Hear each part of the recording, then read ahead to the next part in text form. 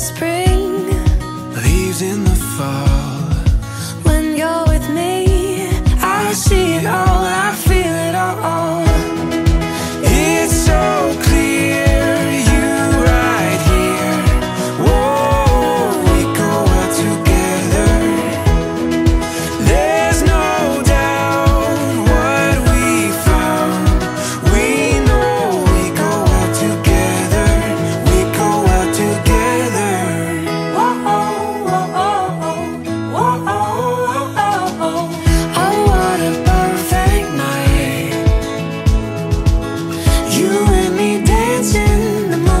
Spotlight.